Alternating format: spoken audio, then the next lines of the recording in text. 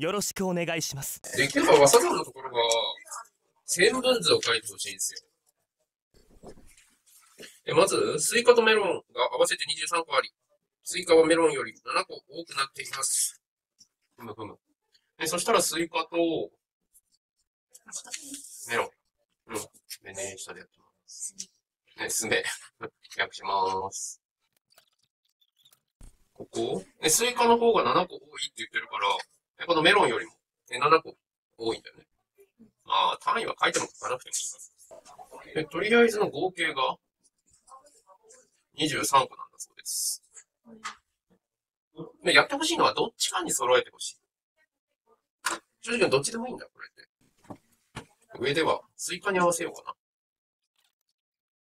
な。スイカに合わせると、メロンを何個増やせばいい？?7 個増やすんだよね。そうそうそう。そしたらさ、スイカとメロンの個数が同じになるじゃん。ってことは、2で割ればいいよね。うん。っていうので、この和に対してプラス7したのを2で割ってあげればいい。まあ、ちゃんと書くならここにカッコをね、つけないとなんですけど、計算したらいくつ？はいですね。で、この15個っていうのが、スイカの個数になるよね。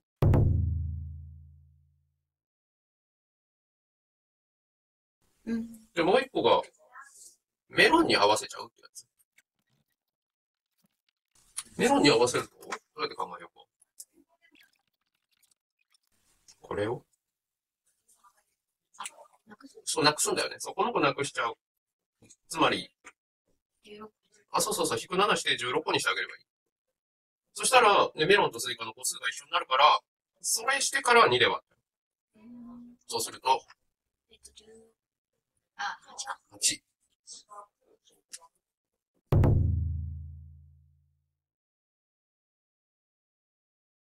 今回、そのメロン、えっと、スイカっていうのが多い方なんだよね。多い方、少ない方。多い方って、和足すさ、割る2っていうのをしてほしいんだよね。これやってるよね。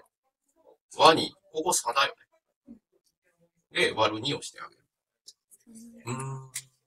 このね、和サザンって今後結構出てくるんだよね。速さのところとかでも出てくるし。速さ。速さ。速さ。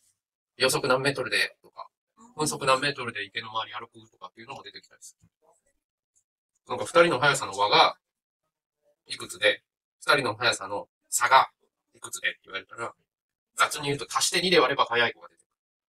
引いて2で割れば遅い子が出てくるっていうふうに、ああ、引く差っていう、これ割る2っていうので、できるよ